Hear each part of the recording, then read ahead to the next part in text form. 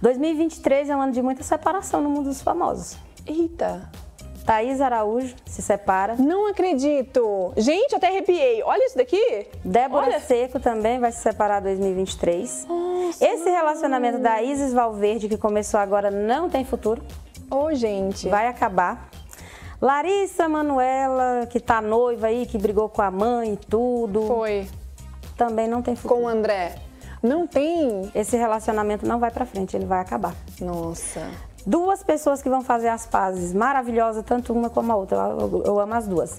Anitta e Ludmilla vão fazer é as pazes.